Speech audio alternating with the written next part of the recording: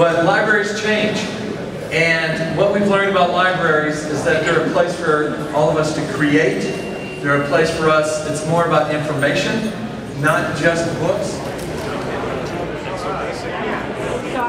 So with this popularity of public computers, some have been saying that the internet and e-books would make libraries obsolete.